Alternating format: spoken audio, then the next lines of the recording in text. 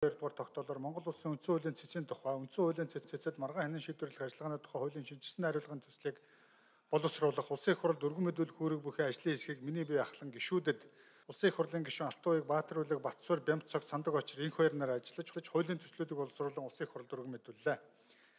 Монгол Улсын их хурлаас үндсэн хуулийн цэцэд маргаан хянан шийдвэрлэх ажиллагааны тухай 36 зүйлтэй хуулийг 1997 оны 5 дугаар сарын 1-ний өдөр баталж өнгөрсөн хугацаанд 6 удаа нэмэлт өөрчлөлт оруулсан байна.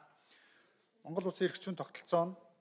тулгуур хуулиуд болох эрүү, иргэн захиргааны эрх зүйн шинжилгээг нийгмийн харилцааны хөгжил олон улсын сайнд хууль хэрэгжүүлэх явцад гарсан алдаа дутагдлыг үндэслэн хийж ирсэн хэдий ч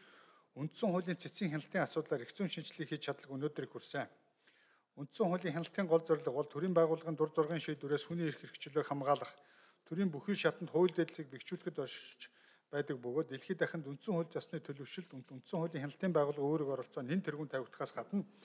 үндсэн хуулийн цэцгийн үйл ажиллагаа иргэд олон нийтийн зүгээс авч байгаа үнэлэлтээр хэмжигдэж байна. Эрх зүйн шинжилгээ хийхгүй удах нь олон нийтийн шүүмжлэлийг дагуулж ухамдлыг төрүүлэхийн сацуу тухайн институцийн нэр хүнд үйл ажиллагаанд төлөх, устөржүүлэх, үндсэн хуулийн үзэл баримтлалыг жуудуулах сөрөг үр дагаврыг гаргаж болзошгүй байна. Сүүлийн үед үндсэн хуулийн цэц улс төрөөс хараат болсон захиалга биелүүлдэг гэх мэт шүүмжлэл гарах болсон эрх зүйн шинжилгээг хийгээгүйтэй цэцэд маргаан шийдвэрлэх ажиллагааны тодорхой зохицуулаагүйтэй холбоотой байж болно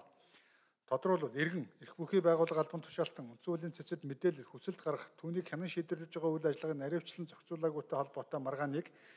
шийдвэрлэхгүй удаашруулах, маргаан үүсгээд мартах цэцэн шийдвэрийн үндслэл дутмаг байх зэрэг олон сүр гарсаар байна.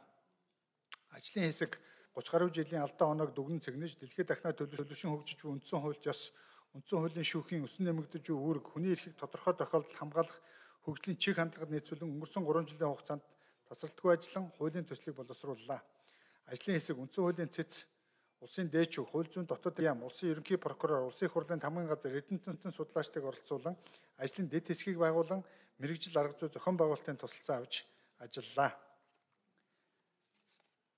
Улсын их хурлын гишүүдээс өргөн мэдүүлсэн хуулийн төслийг хэлсэн шийдвэрлэж өгөх хүсье. Баярлалаа. За баярлалаа.